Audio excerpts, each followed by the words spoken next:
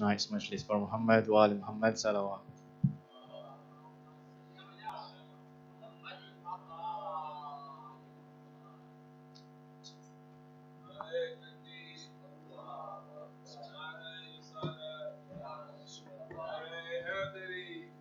علي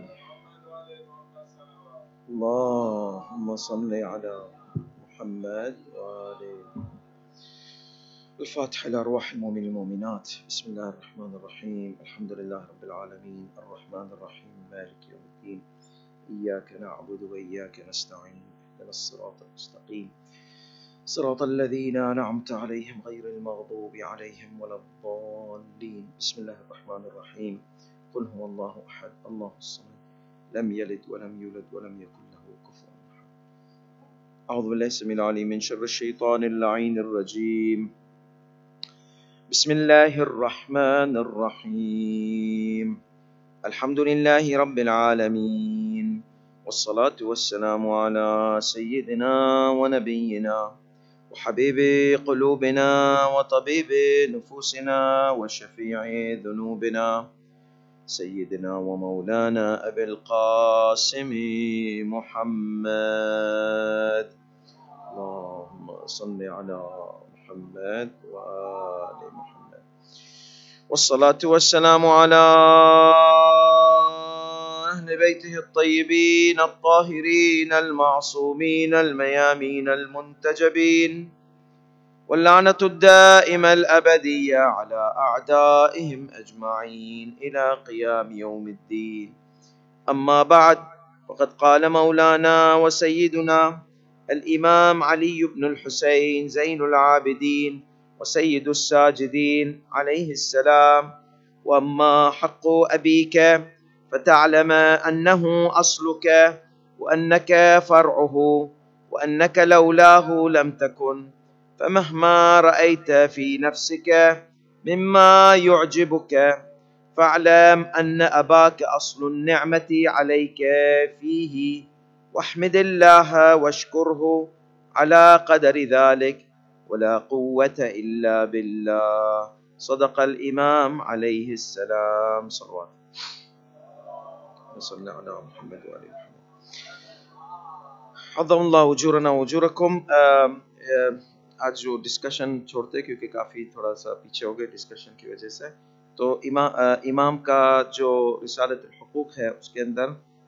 ماں کا حق ہم نے بتایا تھا باپ کا حق۔ تو یہ جو ویسٹرن والے بولتے ہیں نا کہ اسلام ہمیشہ عورت کو کم کم کم بولتا ہے ماں کا جو تھا، امام نے تقریباً ایک، دو، تین، چار، پانچ، چھ، سات، آٹھ، نو، دس لائن میں اس کا حق بیان کیا ماں کا، کتنی لائن میں؟ دس لائن میں۔ باپ کا ہاں باپ کا حق جو ہے، تین لائن میں۔ لوگ بولتے ہیں نا کہ اسلام میں عورت کو ڈسکریمنیشن کرتے ہیں۔ اتنا سارا تو اسلام دیتا ہے عورتوں کو۔ ہم بیچارے مرد مظلوم ہے سمجھ گئے نا؟ یعنی لیکن یہ ہے کہ مظلوم تو نہیں ہے میٹافوریکل زبان میں ان کو بولنا چاہیے۔ کیونکہ اسلام جانتا ہے کہ مرد اپنا حق خود لے لیتا ہے۔ کیونکہ وہ مضبوطی کی وجہ سے پاور کی وجہ سے اوتھوری لیکن ماری کون جاتی بیچاری؟ عورت ماری جاتی ہے۔ سمجھ گئے نا؟ تو یہاں پر جو ہے امام بولتے کہ وہ اما حق و ابیک ہے۔ اپنے باپ کا حق یہ ہے۔ فتح علم یہ جانو، جاننا بھی ایک حق ہے۔ علم رکھنا بھی ایک حق ہے۔ فتح علم انہو اصلک ہے۔ تمہارا اصل تمہارا باپ ہے۔ اگر تمہارا باپ نہیں ہوتا، تم نہیں ہوتے۔ تو تمہارا اصل تمہارا باپ ہے۔ اور اصل کا ہونا ایک چیز میں وہ ایک قسم کی بہت بڑی نعمت ہوتی ہے۔ بہت بڑی نعمت ہوتی ہے۔ کیونکہ بغیر اصل کے فصل ہوتا ہی نہیں کبھی۔ بغیر اصل کے دوسرا برانچ ہوتا ہی نہیں ہے۔ تو تم تمہارے باپ کا ایک برانچ ہو۔ انہو اصل کا وہ ان اور تم اس کے برانچ ہو۔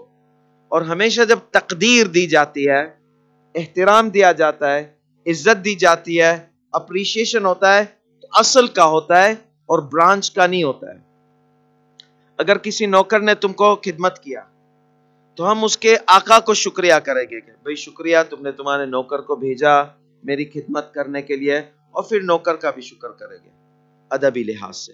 لیکن نوکر کا شکر کرنا اور نوکر کا جو آقا ہے، جس نے بھیجا ہے، وہ نوکر کو اس کا شکر نہیں کرنا، یہ ہو نہیں سکتا ہے۔ سمجھ گیا نا؟ تو اصل ہمیشہ اصل ہوتا ہے۔ تمہارا باپ تمہارا اصل ہے، وہ نہیں ہوتا تم نہیں ہوتے انک لولاہ لم تکن اس کے بغیر تم بالکل نہیں ہوتے۔ تو تمہاری بنیاد جو ہے، تمہارے باپ کی ہے۔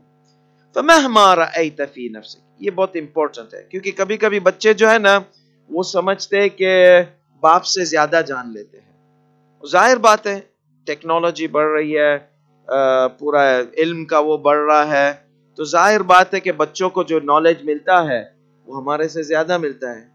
تو کبھی کبھی کچھ بچوں کو غرور آ جاتا ہے کہ مجھے میرے باپ سے زیادہ علم ہے۔ یہ نہیں ہونا چاہیے۔ فِي نَفْسِكَ۔ تو جتنا بھی دیکھیں گا، اپنے آپ میں جو تیرے کو پسند آئے گا، جو تیرے باپ میں نہیں ہے، مما يعجبك فاعلم ان اباك اصل النعمه یہ جان لو کہ تمہارا باپ ہے، جو تمہارے پاس نعمت ہے، اس اس کی اصل جو ہے نا، تمہارا باپ ہے۔ اگر وہ نہیں ہوتا تو تم نہیں ہوتے۔ تم نہیں ہوتے تو تم پر یہ نعمت بھی نہیں آتی۔ تو جو تمہارے پاس نعمت ہے، وہ اصل باپ ہے۔ کیونکہ اس کی وجہ سے تم دنیا میں آئے اور اس اس کی وجہ سے تم کامیاب ہوئے۔ اس نے تمہاری پرورش کیا، تمہارا خیال رکھا، تمہارے لیے باہر جا کے کام کرتا تھا دن رات۔ یعنی ایک دفعہ ایک بچہ تھا، تقریباً گیارہ بارہ سال کا ہے۔ اپنے باپ سے ناراض تھا۔ تو میں نے اس کو بولا کہ بھئی کیا پرابلم ہے؟ تو بولا نہیں، میرا باپ بولتے یہ کر، وہ کر۔ اور میں نے اس کے باپ کو دیکھا ہے۔ اس کا باپ دن رات محنت کرتا ہے، ٹیکسی چلاتا ہے، تاکہ کیا ہے کہ بچوں کو انڈیا لے جاوے، زیارت لے جاوے، یہ دلاوے بچوں کو جو بھی چیز کی ضرورت ہوتی ہے، پیزا کھانا ہے، پیزا لے جاتے بہت لاٹ دیتا ہے اپنے بچوں کو۔ سمجھ گیا نا؟ تو میں نے اس کو بولا کہ دیکھ، اگر تیرا باپ کماتا نہیں نا تو تیرے کو پیزا پیزا یہ جو تم لوگ کو ادھر ادھر اتنا تمہارا لاٹ دیتا ہے نہیں ہوتا۔ اور تمہارا باپ کہاں سے لاتا ہے پیسے؟ اس کو دن رات محنت کرنی پڑتی ہے۔ اتنی محنت کرنی پڑتی ہے کہ وہ یہ یہاں پہ ہم پاؤنڈ کی زبان یوز کریں گے کہ پینی اور پینی جمع کر کے پاؤنڈ بنتا ہے اس کے پاس۔ اور پاؤنڈ کے پاؤنڈ جمع ہوتے ہیں تب جا کر تم لوگ کو جو ہے انڈیا کی سیر ملتی ہے، یورپ کی سیر ملتی ہے، زیارت پہ جانے ملتا ہے، مزے کرتے ہیں۔ تو یہ جان لو کہ تمہارا باپ نہیں ہوتا تو یہ تم نہیں ہوتے۔ اگر ہم کو لحاظ کرنا ہے نا کہ باپ کتنا کرتا ہے بچوں کے لیے، تو جو دنیا میں یتیم ہے نا، ان کو بس دیکھ لیں۔ پتا چل جائے گا کہ باپ کتنی بڑی نعمت ہے اور وہ یتیم یہ نعمت سے کتنا محروم ہے۔ سمجھ گیا نا؟ عراق میں جو اتنے سارے یتیم ہیں اور پاکستان میں جو شہیدوں کے یتیم ہیں، جو پاکستان میں نارتھ یہ پشاور میں جو بومنگ ہوتی تھی، جنگ ہوتی تھی، بہت سارے یتیم ہوئے وہاں پر۔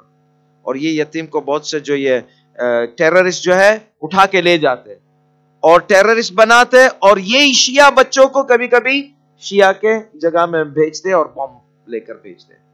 یعنی کتنا خراب ہے کہ یتیموں کا ہم خیال نہیں کرتے نا، تو دوسرے آ کے اٹھا جاتے ہیں ہمارے یتیموں کو۔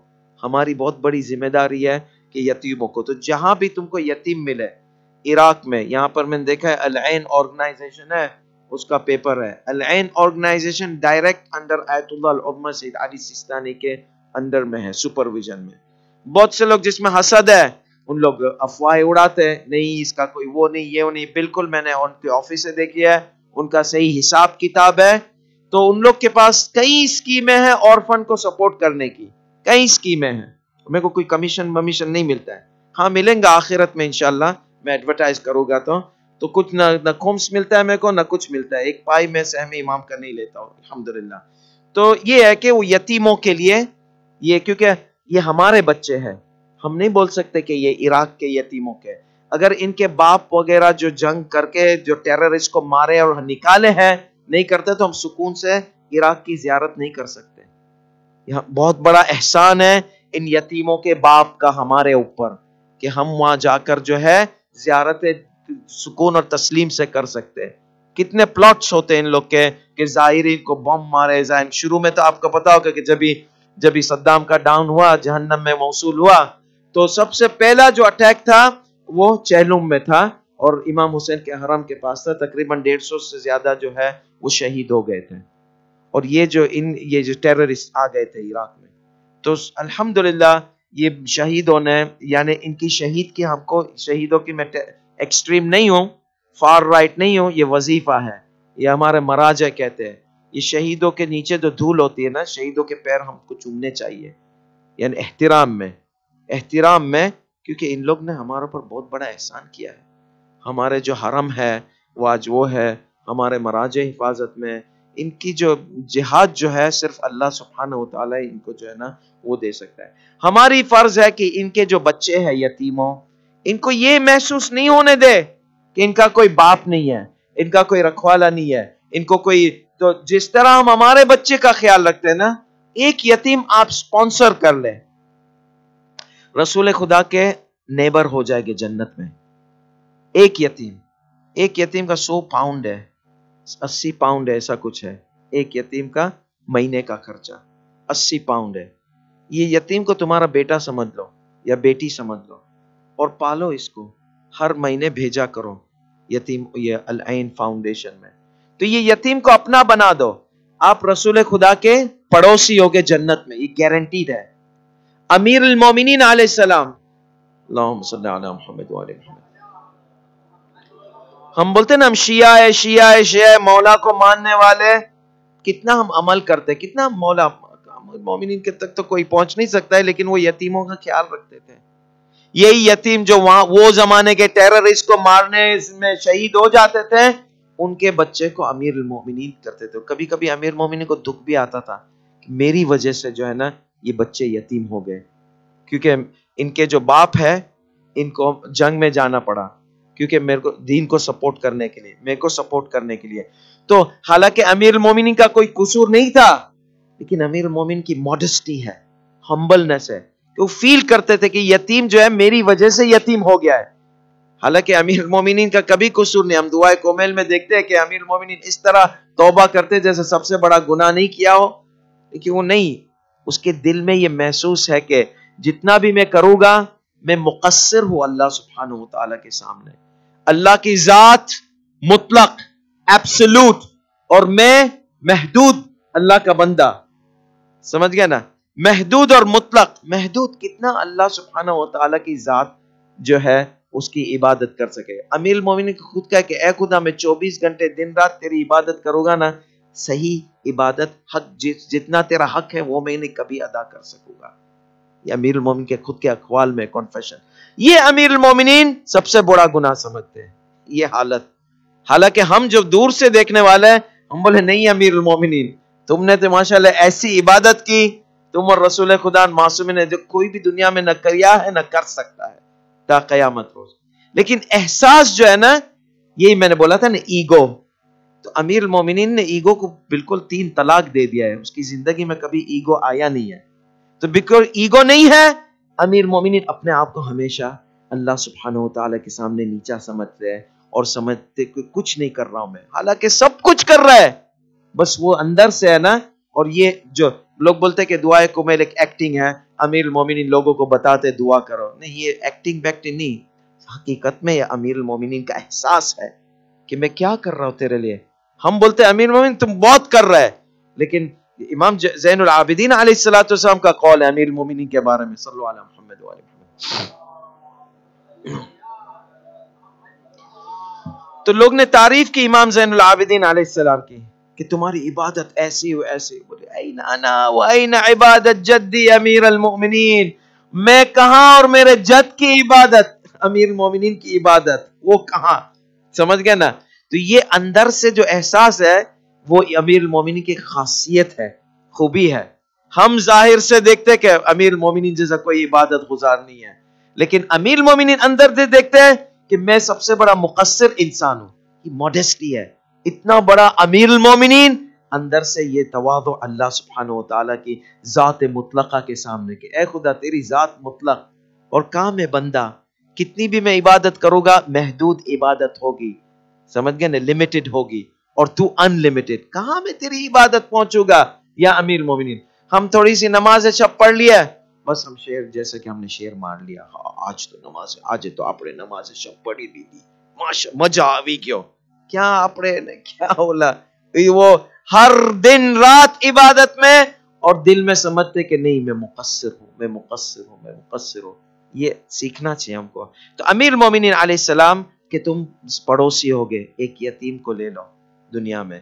Take care of an orphan you will be neighbour of Imam Ali علیہ السلام نیبر آف رسول اللہ take care of one orphan اور آپ دیکھنا بہت سے مومنین نے بولا ہے مجھے کہ جب سے ہم نے یہ آرفن کا خیال رکھنا شروع کیا اللہ نے ہماری زندگی میں برکتیں دے دی۔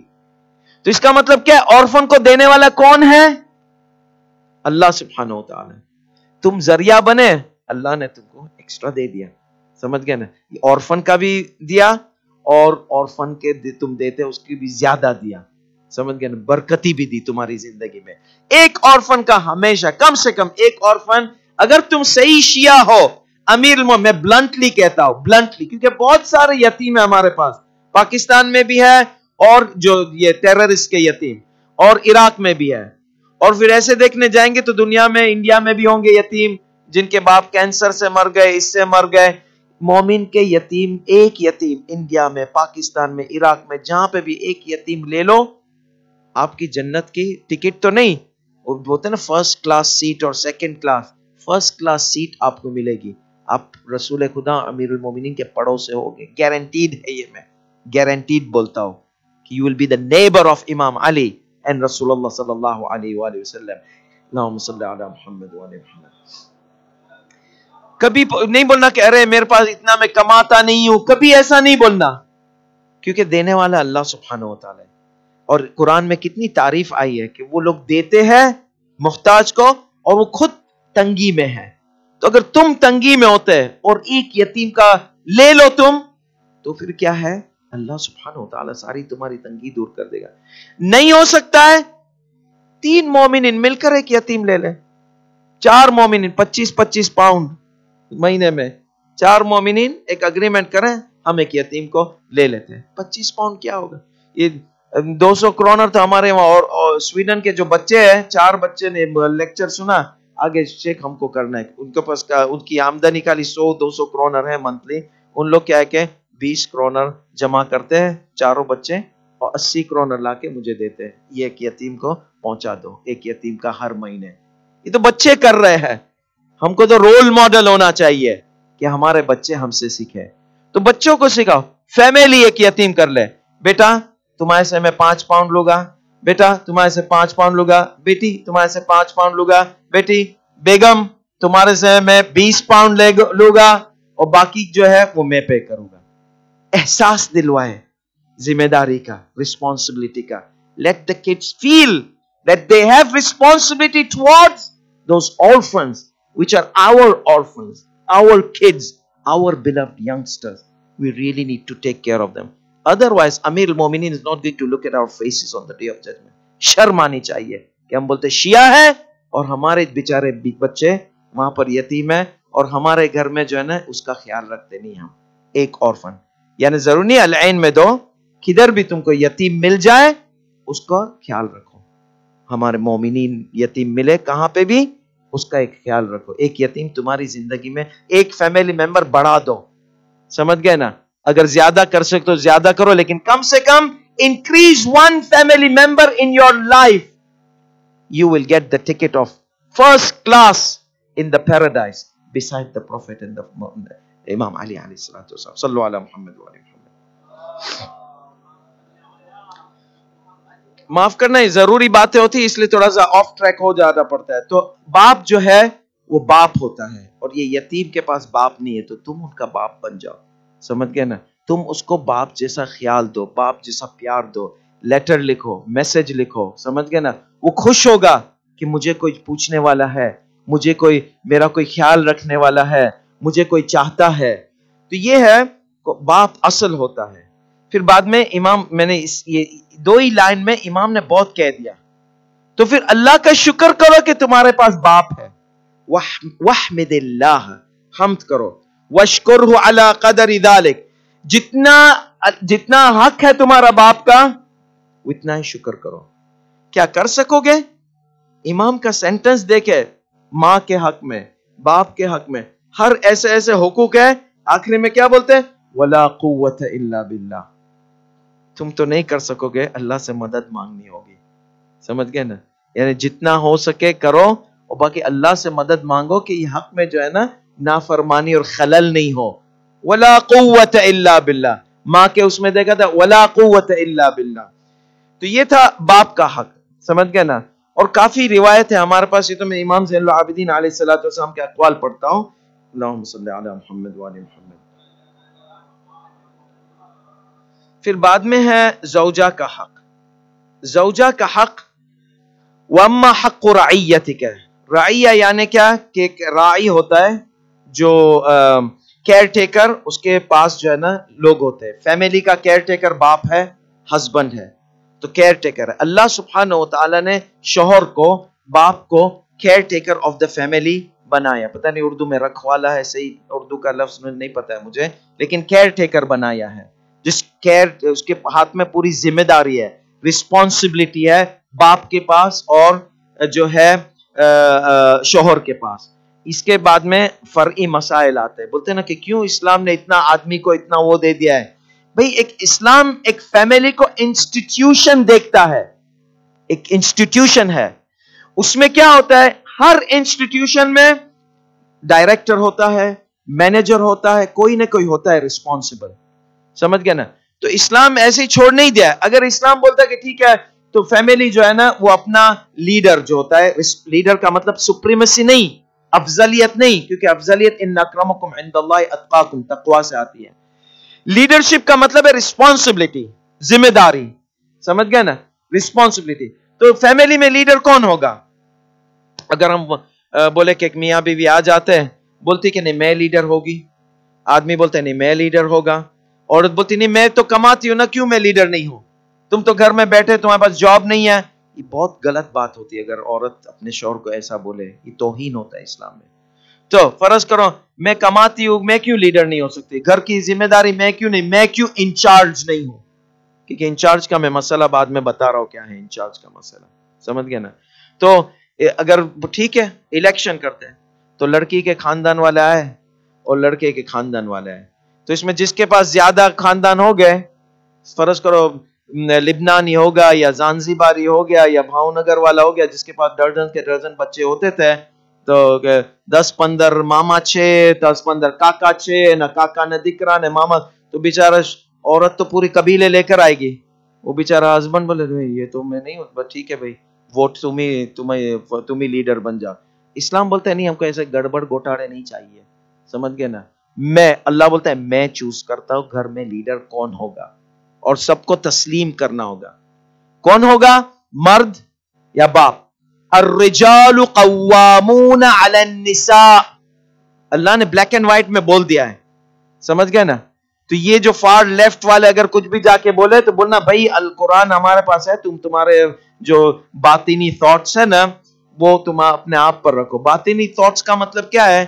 کہ جو اسماعیلی لوگ ہوتے ہیں نا، آغا خانی، ان کے پاس ایک فرقہ باطنی بولتے ہیں اس کو۔ یعنی کہ ہر آیت کی باطن میں جاؤ۔ مثال کے طور پر، حجاب حجاب نہیں، پردہ نہیں ہے۔ حجاب اندر کا دل کا حجاب ہے۔ عورت بے پردہ ہے، بس باطن میں حجاب ہے تو کافی ہے۔ انہیں کہتے باطن۔ یہ اسماعیلیوں کا میتھڈ ہے۔ ہمارے مراجے کا میتھڈ نہیں۔ آیت کی ظاہر دیکھو کیا مطلب ہے۔ اگر دلیل ہے باطنی مانے کے لیے تو پھر باطن جانا، ورنہ باطن تم نہیں جا سکتے ہو۔ ہمارے مراجے کا جو میتھڈولوجی ہے، جو ماڈریٹ لائن ہے تشیعوں کا، کہ باطن تم جب جانا، جب تمہارے پاس دلیل ایویڈنس ہو۔ دلیل نہیں ہوں گی، تم باطن نہیں جا سکتے ہو۔ تو یہ آج کل جو کبھی کبھی نکل جاتے فیک آیت اللہ اور باطنیہ کے تو یہ اصل میں اسماعیلی فرقہ کا ایک فرقہ تھا، ان لوگ کے پاس یہ باطنیہ کانسیپٹ تھا۔ ہمارے مراجع کا کانسیپٹ نہیں ہے۔ ہمارے مراجع بولتے کہ ظاہر آیت اللہ العظمہ سید ابوالقاسم خوئی نے اپنی البیان فی تفصیل قرآن میں بتایا ہے کانسیپٹ کہ ظاہر الفاظ کی تفسیر لو، دلیل ملے تو باطن جانا۔ اسماعیلی ایک فرقہ ہے، وہ بولتے کہ نہیں، ہم ہم ریسپیکٹ کرتے سارے مسلمان کا۔ سمجھ گئے نا؟ We can agree to disagree لیکن this is not Shiism to go باطن without evidence okay this is not this is not the twelvers مرجعیت جس پر ہے شیخ توسی سے سید الخوئی تک یہ باطنیہ نہیں ہے۔ اس لیے ان کو پہلے بولتے تھے فرق الباطنیہ، باطنی فرقہ، کیونکہ ہر چیز میں باطن جاتے باطن جاتے ہیں۔ تو مطلب یہ ہے کہ یہاں پر جو ہے اللہ سبحانہ و تعالی نے حق بنائے الرجال قوامون علی النساء، باطنی باطنی جانے کی ضرورت نہیں ہے۔ میل جینڈر کو اللہ نے رسپانسبل بنا دیا ہے۔ سمجھ گئے نا؟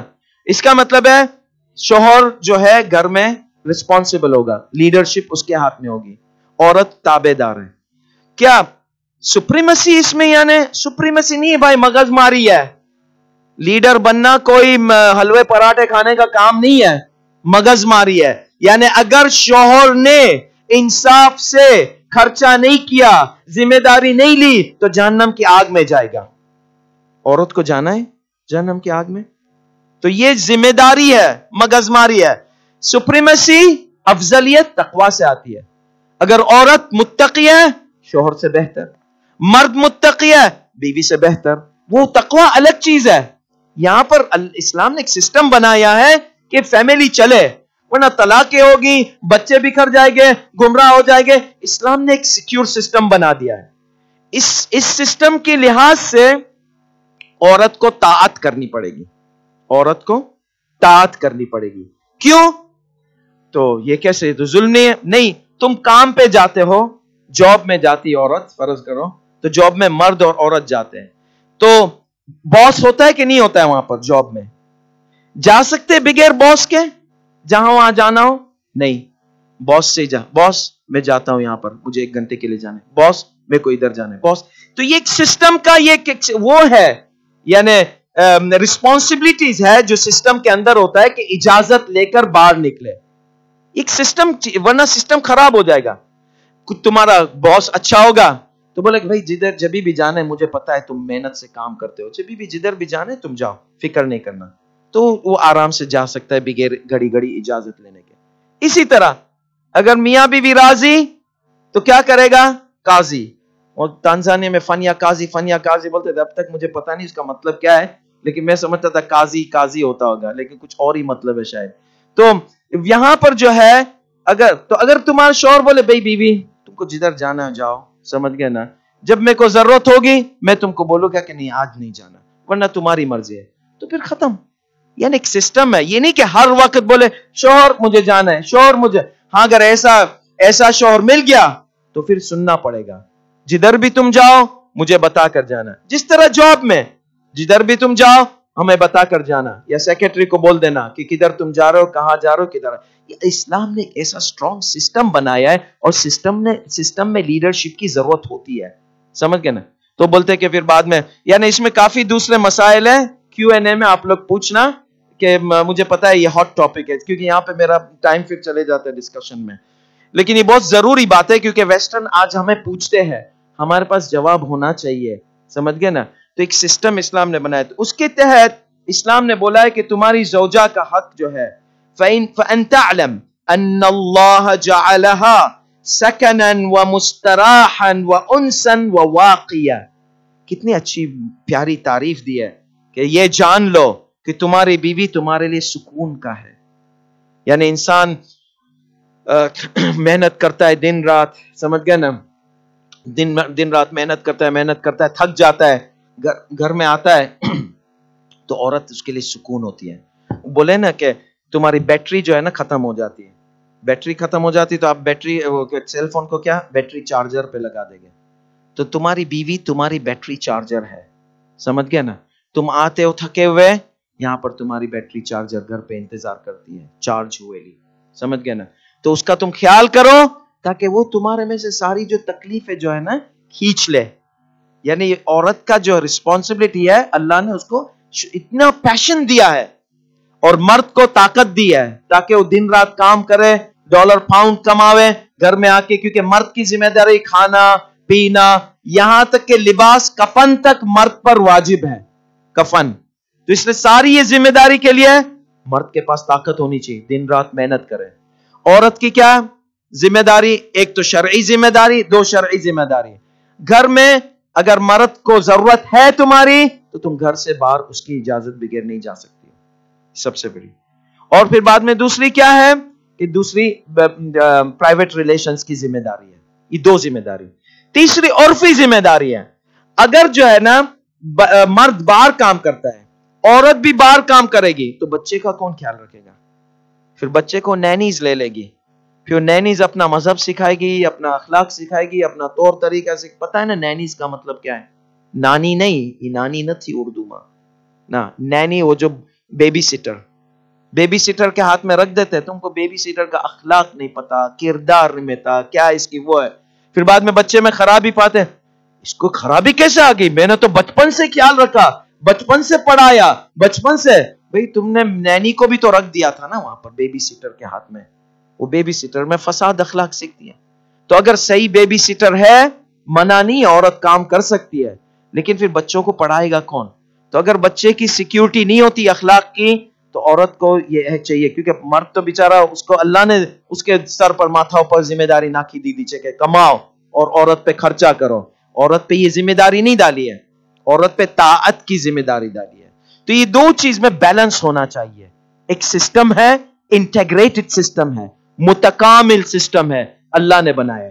یہ سسٹم کو ماڈرن سوسائٹی آ کر توڑتی ہے تو کیا ہوتا ہے؟ طلاق ہوتی ہے شادی کا جو کانسیپٹ ہے، وہ غائب ہو جاتا ہے۔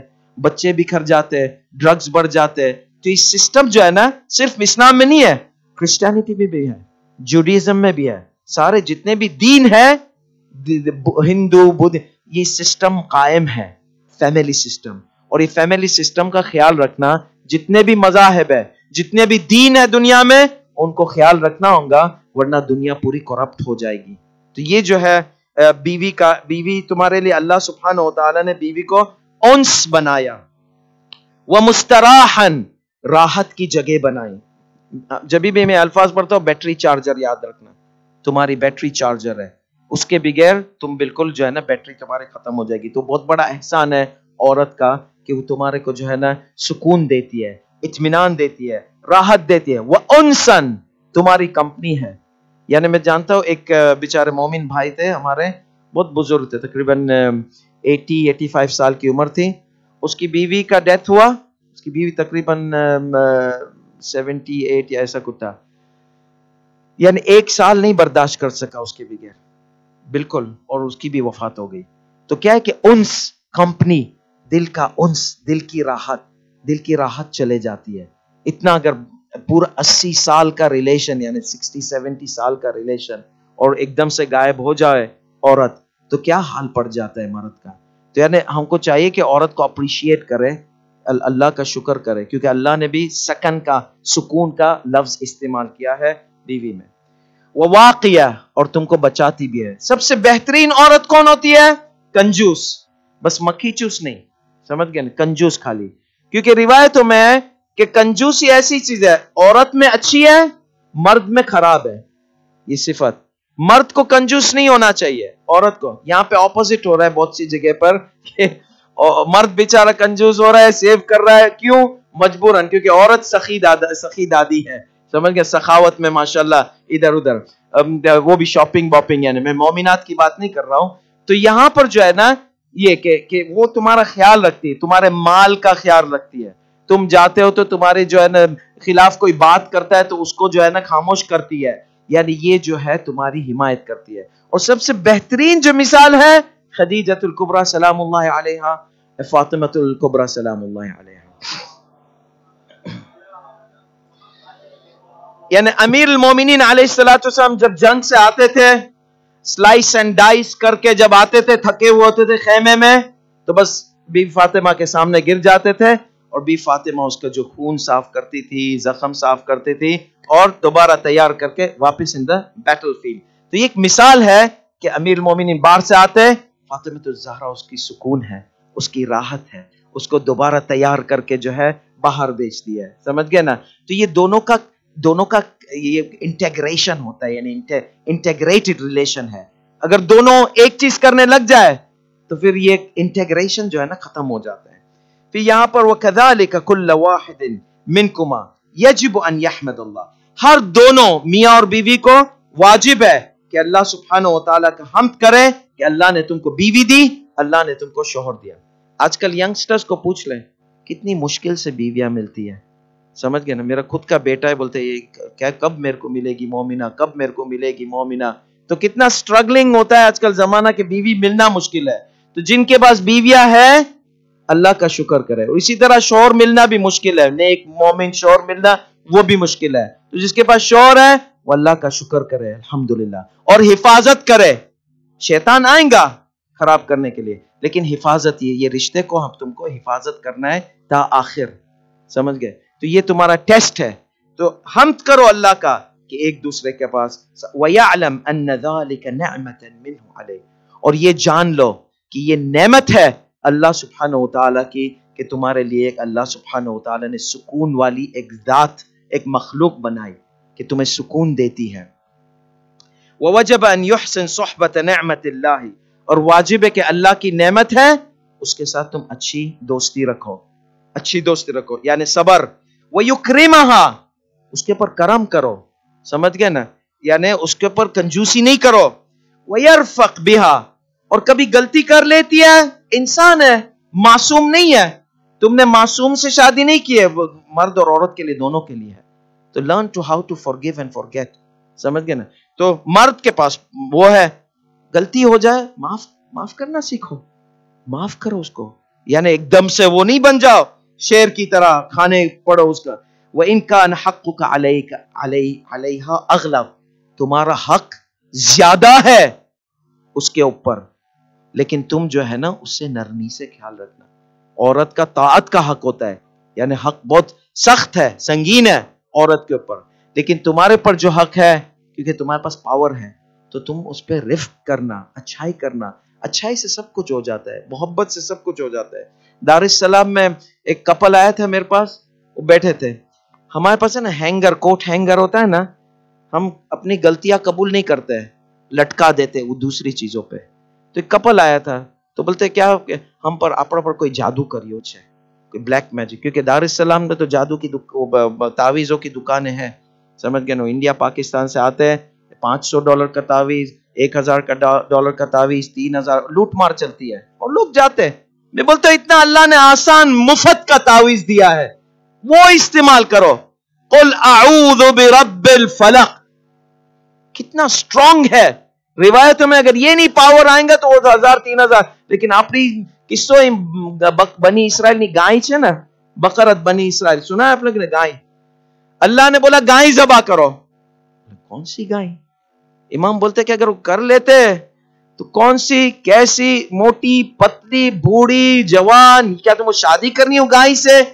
تو بولتے، نہیں، یہاں تک کہ اللہ جتنا سختی کر رہے تھے، اللہ سختی کرا۔ یہاں تک کہ بولے، پیلی زرد کلر کی ایسی ویسی۔ ارے، یہ تو کیا ہم ڈھونڈیں گے؟ پھر بعد میں مشکل سے ملی نا تکلیف سے ملی نا ان کو کتنا پیسے، ڈالر پہ تین ہزار والا تعویز تھرٹی تھاؤزینڈ والا تعویز خریدنا پڑے، جو ہوتا ہے نا، کہ اللہ نے آسان کر دیا تھا۔ امام جعفر صادق علیہ السلام بولتے ہیں کہ اللہ نے صلی اللہ محمد علیہ اللہ نے بولا تھا، گائے ذبح کرو۔ سمجھ گئے نا؟ اور تم جو ہے کئی گائے آج تو وہ بیچارے وہاں تعویز کے کوالٹی کوالٹی کے تعویز بکتے ہیں اور پرائس مختلف میں۔ اور بیچارے مومن ان کو چاہے وہ سو نہ، آ کام نہیں آؤ تو آ کام آ عقیدہ ہوتا ہے۔ قل اعوذ برب الفلق پہ عقیدہ رکھو۔ دیکھو کیسی قل اعوذ برب الفلق توڑتی نہیں ہر یہ چیز کو۔ وہ بھی اگر جادو ہو تو۔ تو یہ بیچارے بولتے کہ تو میں نے دونوں سے سنا۔ تو میں نے بولا کہ تو جادو نہیں ہے۔ جادو تو یہ کہ تم لوگ کو پتا نہیں کہ تم لوگ کی غلطیاں ہیں۔ تم تیری یہ یہ یہ غلطیاں ہے تیری یہ یہ غلطیاں ہیں۔ اور تم لوگ بس غلطیاں قبول نہیں کرنی ہے اور جادو پہ لٹکا دیے اپنا ہینگر بنا کر کہ جادو کیا ہے کسی نے۔ جاؤ غلطیاں سدھارو اور دو ہفتے کے بعد میرے پاس آؤ اور دیکھو، پھر میں میں دیکھتا ہوں کہ ہے جادو یا نہیں۔ تو دو ہفتے کے بعد آئے، خوش خوش تھے ماشاء اللہ سمجھ گئے نا؟ تو بولے کون سا جادو تھا یہ؟ سمجھ گئے؟ تو یہ جادو بادو یہ سب جو، تو ہسبینڈ اینڈ وائف کو جو ہے نا سمجھوتا کر کے رہنا چاہیے۔ شیطان ہے، وہ آئے گا۔ خراب کرنے کے لیے آئے گا۔ اس کی ڈیوٹی ہے۔ اس کی ڈیوٹی ہے قیامت تک کے گھر توڑے۔ ہماری ڈیوٹی ہے کہ ہم الو نہیں بنے۔ سمجھ گئے نا؟ ہوشیار رہے۔ ایک دوسرے کی غلطیاں کو برداشت کرے، معاف کرنے کا سیکھے۔ سمجھ گئے نا؟ صلی اللہ علیہ محمد والے محمد۔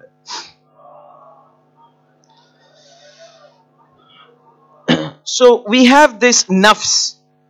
So nafs in the Quran, you can find I will sum up, and as I mentioned, this is too philosophical topic, so I'm going to just make it in a very small, simple uh, uh, topic, so that everybody can understand the small youngsters and the big youngsters.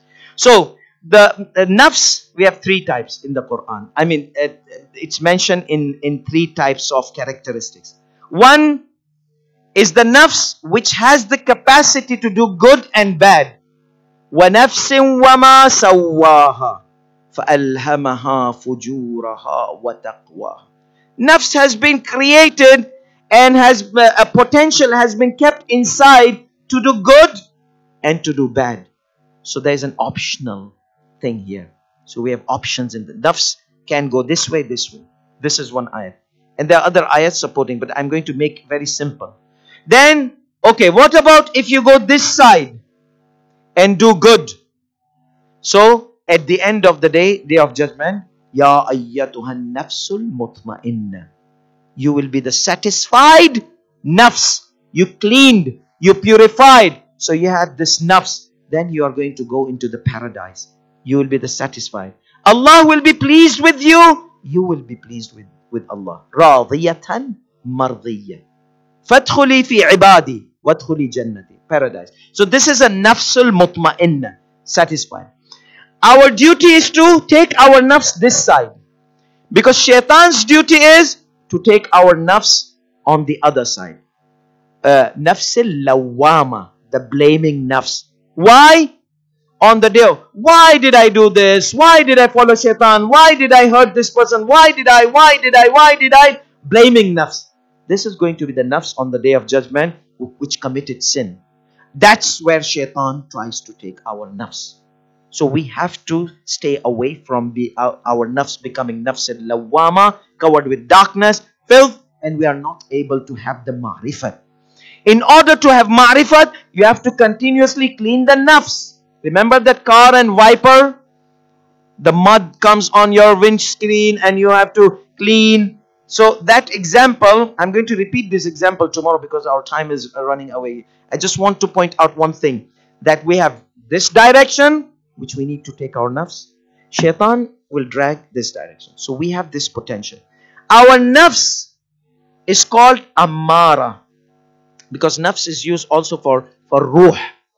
In English, there uh, also the, these uh, uh, soul and spirit are interrelated, but we will have to make a term, common terminology so that we all know. So when I say ruh, it's going to be spirit. When I say nafs, it's going to be soul. Okay? From now on. So soul has the is the jacket of desires, nafs. And ruh, ruh al-qudus, it's Holy Spirit, spirit.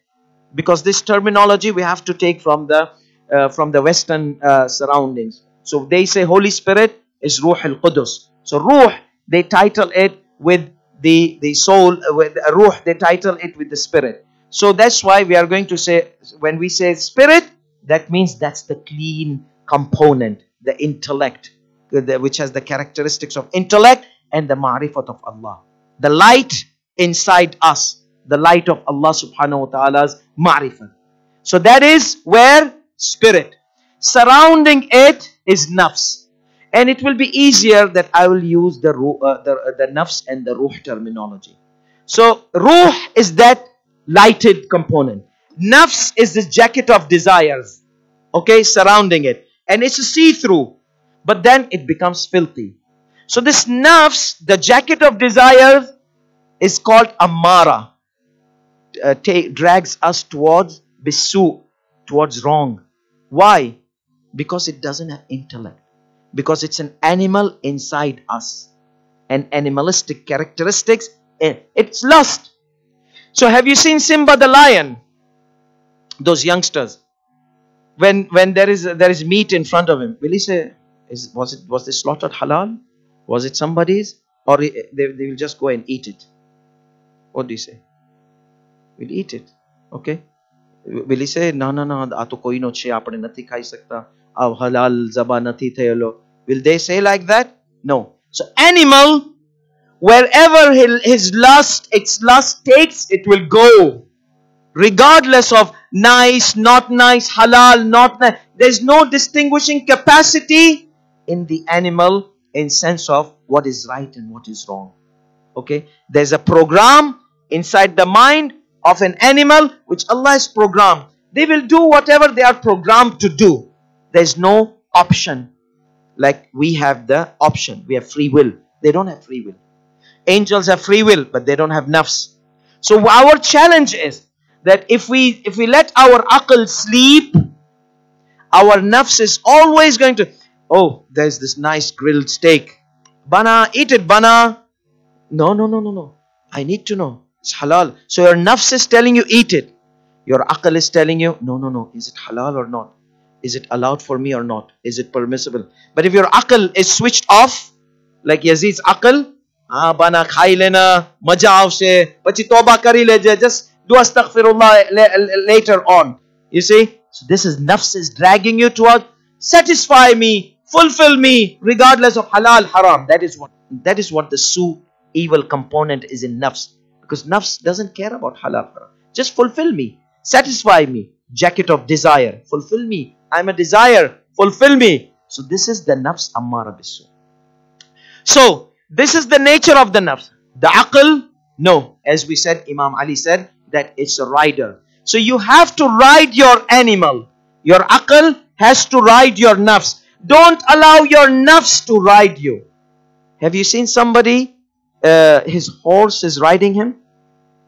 No. Nobody have seen horse riding a man. Or have you seen your car driving you? No, you drive the car. So the car is your nafs and you are the intellect. You have the intellect. So if your car drives you, let's say you lose your conscious, you see, what will happen? Now the car is driving you. Will the car know where to go? We're not. Don't tell me you don't control cars and Uber, Uber, Nudes. No, let's go back to our regular cars. Will the car know where to go? It will crash here, crash there, go off the cliff. So that is when you keep your control in the hand of your nafs, you will be doomed. So you have to take the responsibility of your nafs. You have to take the charge of your car and drive the car. Don't let the car drive you. Otherwise, you'll be doomed. So now this nafs becomes filthy. We're going to talk more about it. So we need to continuously clean this nafs. Okay? So that our soul can see through, feel the existence of Allah subhanahu wa ta'ala around us. So if our nafs is clean, we will never ever commit sins. We'll become like angels. We'll become better than the angels. Because they don't have nafs. So we have strived to become like angel. So that's why we have become better than the angel. So we have to make our nafs see through. That means keep continuous clean. One of the ways to cleaning it is Salah Ja'far al-Tayyar. Remember I told you I'm going to give you a gift. So I want all the youngsters be in Salah Ja'far al-Tayyar. We are going to have together after Salat al-Maghrib. When is it? Saturday? Saturday we are going to have Salah. It's amazing Salah. The youngsters, they love it so much. Even the big youngsters, they love it. And I have seen so much, so many positive effects of it. Now, Salah Ja'far al-Tayyar, I'm going to talk more about it tomorrow. Salah Ja'far al-Tayyar was a gift given to Ja'far, brother of Imam Ali So, I'm transferring this gift to all our youngsters who, do, who don't know about Salah Ja'far al-Tayyar. Salah Ja'far ibn Abi Talib. What happened on the day of Khaybar? The Prophet got two glad tidings, two good news. So Imam Ali alayhi comes from Khaybar carrying the flag of victory and Prophet was glad. And his brother comes from Abyssinia. Okay, bringing the Muslims. Because when prosecution was happen and tor- uh, happening, torture was happening in Mecca, the Prophet uh, told Ja'far ibn Abi Talib, brother of Imam Ali, take these Muslims there because if they, they will live here, uh, they will be vanquished. They will murder them, kill them, torture them. Take them. Abyssinia has a Christian king who is a nice king. So it's it, Western communities allowing Muslims to live freedom. It's not something new. They, it was long time ago. Okay. So Abyssinian king welcomed Ja'far ibn Abi Talib. When the Prophet was in Medina and it was safe, Ja'far was told to bring the Muslims back to Medina. and he brought them back safe and sound. Okay, so here Prophet is glad seeing Imam Ali from one side coming and Ja'far coming from other side. Two glad tidings. So Imam Ali alayhi salatu wasalam, he was gifted by the Fath of Khaybar, great victory. He had this gift. And Ja'far, if, if the Prophet said, he welcomed Ja'far, come on Ja'far, welcome. He hugged him, embraced him. Ja'far, I am going to give you a gift. Ali got his gift. I'm going to give you a gift also. So what was the gift? He gave him this Salah Ja'far al-Tayyar. Ja'far ibn Abi Talib. Tayyar means flying. Because Ja'far ibn Abi Talib, like Hazrat Abbas, his both arms were cut in the battle of uh, uh, Mu'ta and he was killed there. So that's why Allah subhanahu wa ta'ala said, uh, uh, the Prophet sallallahu said to praise him that he is going to have wings. That means he's going to have his hands also, but he will have these wings as an indicator that he sacrificed his hand. Imagine how will be Hazrat Abbas then. You see? So therefore, the Prophet gave him this salah. Tomorrow I'm going to explain about this salah. Uh, uh, like how it is offered and most of you uh, most probably know. But this salat, if you have any hajat, do this salat. It's four rakat. It will take 20 minutes of your time. Each rakat takes five minutes, not more.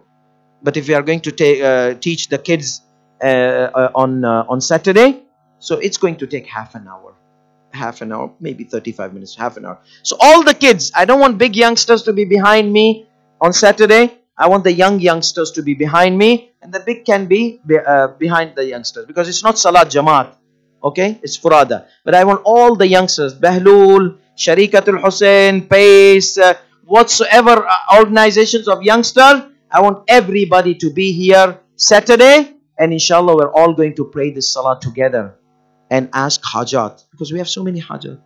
We have we have our imam needs to come. We want to ask Allah to make his appearance soon. We we want to be great, successful, best Muslims in the in this world who are pious and who are doctors and engineers and everything. So we want to ask Allah to give us all the success, and we want uh, to pray for our parents and all this. So so please, our youngsters, Bahlul and all the the young societies, please make sure that our youngsters are here, boys and girls. So I'm going to lead this salah, not Jamaat, they are going to recite. I'm going to recite the surah ayat by ayat so they can recite with me if they have not memorized Surah Al Adiyat. So this salat is great gift. Now imagine, I'll give you a fatwa to let you know how much this salat is one of the unique salat which has been narrated by authentic narrations from the Prophet sallallahu alaihi wasallam till the 12th Imam Ajjalallahu Ta'ala Farajahu Sharif.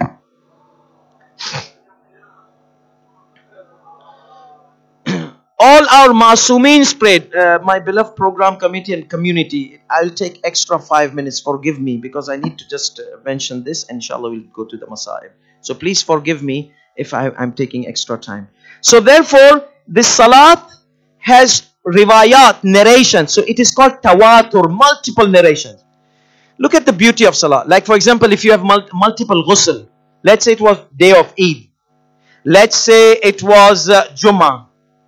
And let's say uh, you want to do istikhara. And all these three, four things. And let's say you were in Mecca. Ghusl, uh, ghusl of entering the haram. You see? So these four ghusls can be multiplied all together in one ghusl. You know all this, the mas'ala, the ruling. You can have one ghusl, make several intentions. Salah Ja'far al-Tayyar has this potential. Nafila, nighttime prayer, nighttime prayer. Okay, I'll pray Salah Ja'far al-Tayyar with the intention of Salah Ja'far and nighttime prayer. This is mentioned as a fatwa in Ayatullah al-Uzma Sayyid Ali Sistani's book, Al-Urwat al-Wuthqa. It's mentioned, he gives good chunk. He has never ever given this, given this much information, masail on recommended Salah. Uh, like Salah Ja'far al-Tayyar. So, Salah Ja'far al-Tayyar, if you have nighttime prayer, Salat Raghaib. Salat Raghaib is narrated by Anas ibn Malik, the arch enemy of Imam Ali alayhi salam. And mashallah, our communities from East Africa till Tanzania, everywhere, first uh, that Rajab, all of them. So, do this, it's nice. But don't pray Salat Raghaib, narrated by Anas ibn Malik, the one who denied the Ghadir. Okay? There's Anas, Imam Ali says, Don't you remember? The Prophet said, Man kuntu mawla fahada Ali mawla. He said, uh, I don't remember. I have a problem with my memory. So Imam Ali did dua on him. So he used to wear this amama on the head, wrapper. So they to, Malik, what is this? He said, This is dua of Ali ibn Abi Talib. This is dua of Ali. He said, Why? What happened? He said, One day he, he asked me to witness the Ghadir.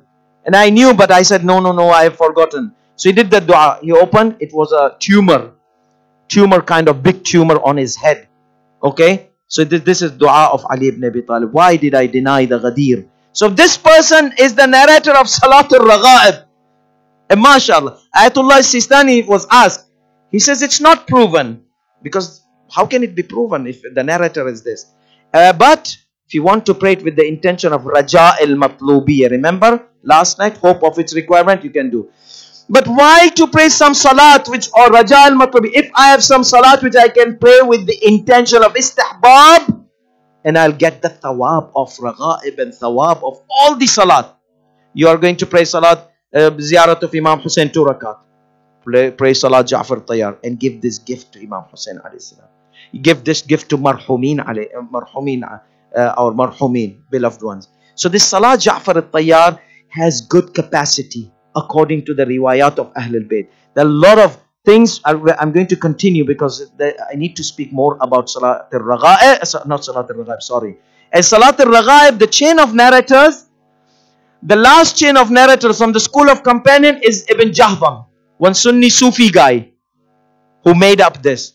And then it came into Mafatih al-Jinan and uh, the Hillis, they, they brought it, Allama's Hilli and all those, because they remember the old concept of whatever you do, you'll be rewarded. So that. But recently, if it's not proven, do Salah Ja'far al-Tayyar. That night, the night of Raghaib, instead of Salatul Raghaib, do Salah Ja'far al-Tayyar and you will be rewarded double your reward of Salat Ja'far. Any Salat, Mustahab, Nafilatul Layl, what, 8 rakat? Pray this 4 rakat of Salah Ja'far al-Tayyar and pray Shafa and Salatul Witr. You don't have Shafa and Salatul Witr, this is enough as a nighttime prayer.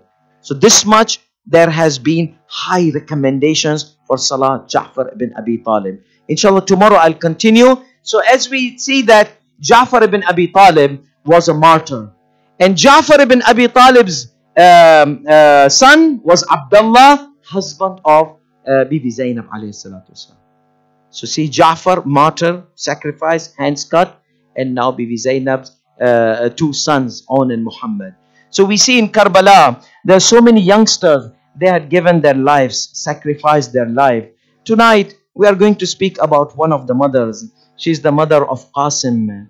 Imagine uh, to, uh, at the night of Ashura, Imam Hussein alayhi salatu was mentioning the places of paradise uh, for his um, for his companions. Uh, and then uh, Qasim comes and asks Imam Hussein alayhi salam, uh, Oh my uncle, my name was not mentioned.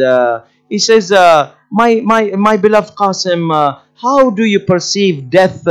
He said, Oh my uncle, death is to me more sweeter than the honey. Look at the tarbiyat of Imam Hassan alayhi salam and tarbiyat of uh, Ramla. By the way, the name of uh, Qasim's mother has uh, three names, Ramla, Narjis and uh, uh, Nafila. So we will just stick to Ramla. So Ramla, she, she had done great tarbiyat to Qasim uh, and this is Ramla. Who was Ramla? Ramla was uh, captured by Muslim army when the when the Roman when the Romans were attacking the Muslims they got victorious on Roman army so Ramla was captive and how did the Muslims treat Ramla they treated her with all the respect and they brought her and she was gifted to Imam Hassan alayhi salam uh, mother of Qasim uh, imagine uh, this mother of Qasim she was treated with all the respect when she became kept captive in the Muslim army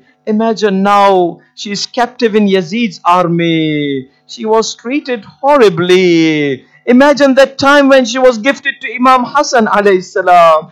And imagine this time uh, on the day of Ashura. She's among the women uh, running from the tent to the another tent. Uh, and she's been tortured. Uh, her scarf is being taken away. And all the tragedies and atrocities uh, that befell uh, on the women on the day of Ashura befell on Ramla as well. Uh, so you will see Ramla, Ramla's scarf was taken away. And did they take away the scarf of Ramla when she was captive uh, by Muslim army? No. This is Yazid army. This is Shimr. Uh, these are not even decent Muslims. Uh, and they tortured her. Uh, they lashed her with whips.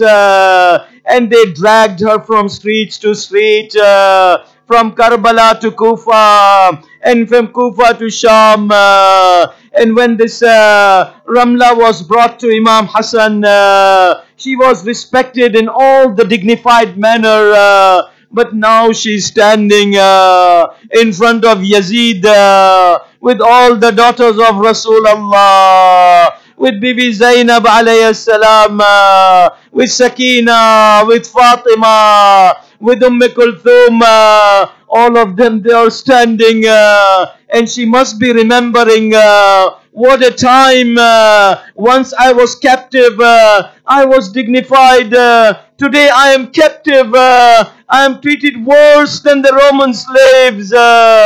And this is the situation uh, and آپ تصور کریں ایک ماں جبھی اس کا بیٹا امام امام حسین کے پاس جاتا ہے امام حسین کہتے ہیں بیٹا قاسم تو تو ابھی جوان ہے بچہ ہے تجھے میں کیسے بھیجوں؟ تو تو میرے بھائی کی نشانی ہے۔ امام حسین علیہ السلام قاسم کو بہت چاہتے تھے، کیونکہ قاسم یتیم تھا۔ یتیم کو امام حسین اپنے بچوں سے زیادہ چاہتے ہیں۔ تو قاسم ایک یتیم تھا اور امام حسین اپنے بیٹوں سے زیادہ قاسم کو پیار دیتے تھے۔ آپ تصور کرے امام حسین سے اجازت مانگ رہا ہے۔ امام حسین کا لادلہ قاسم کیسے ان کو جانے دے؟ کہتے نہیں تو تو میرے بھائی حسن کی نشانی ہے، جاتا ہے۔ اور ایک ماں رملہ، جو کہ رومن رومن تھی اسیری میں آئی تھی۔ اور ماشاءاللہ، اہل بیت کے گھرانے میں ایسی تربیت دی۔ کہا، قاسم، حسین کے بیٹے شہید ہو رہے ہیں، بنی ہاشم شہید ہو رہے ہیں۔ تو ابھی زندہ ہے۔ کہا میرے چاچا حسین مجھے اجازت نہیں دیتے۔ اور مختصر حال یہ ہے کہ امام حسین کے پاس آئے اور امام حسین علیہ السلام نے اجازت دے دی۔ اور امام حسین نے قاسم کو اپنے ہاتھوں سے تیار کیا، اپنے امام حسن کا امامہ پہنایا، تلوار پہنایا۔ تصور کرے قاسم کا قد حمید بن مسلم کہتا ہے کہ یہ ایک چھوٹا سا جوان نکلا اور تلوار زمین پر گھسیٹ رہی تھی۔ اتنا چھوٹا قد، اتنا چھوٹا قاسم۔ امام نے جانے سے پہلے قاسم کو کافی دیر تک گلے لگایا۔ اس سے ایسا گلے لگایا، کسی بھی کو بھی ایسا گلے نہیں لگایا تھا۔ لاڈلا بیٹا، امام کا، یہاں پر قاسم جاتے ہیں اور ظالم آتے ہیں سامنے۔ بہادری سے قاسم جنگ کرتا ہے، لیکن ایک قاسم کے پیر کا پٹا کٹ جاتا ہے، تو پٹا ٹھیک کرنے نیچے جھکتا ہے۔ ایک ظالم کہتا ہے، حمید ابن مسلم کو، میں جا کر اس کو ختم کرتا ہوں۔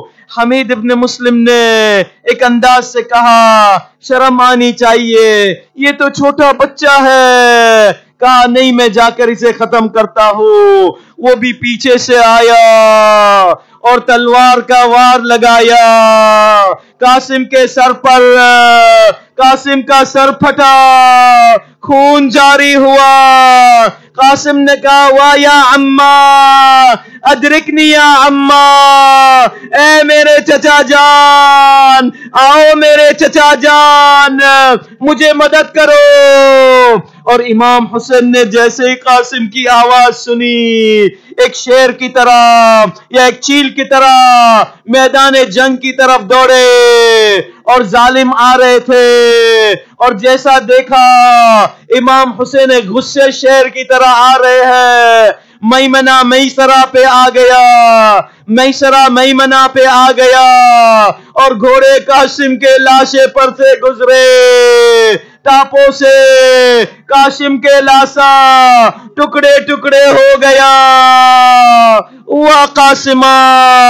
جب امام حسین آئے اور وہ ظالم کو زخمی کیا اور پھر بعد میں جیسے ہی سب بھاگ گئے، دیکھا قاسم ایڑیا رگڑ رہے تھے زمین پر آخری سانس لے لی اور قاسم نے، امام نے کہا، اے میرے بیٹے قاسم، واہ قاسمہ، کتنی مشکل کی بات ہے کہ تو نے مجھے صدا دی۔ اور میں آیا، لیکن میں تیری مدد نہیں کر سکا۔ کتنی مشکل کی بات ہے۔ اور راوی کہتا ہے، امام کافی گریا کرتے تھے قاسم پر۔ پھر قاسم کا لاشا اٹھایا۔ راوی کہتا ہے، ہم نے دیکھا، امام نے قاسم کے لاشے کے ٹکڑے تو اٹھائے، لیکن پیر زمین پر گھسیٹ رہے تھے قاسم کے۔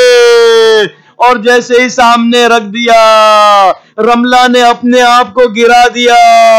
قاسم کے ٹکڑے پر، اور زور زور سے گریا ازاری کرنے لگی۔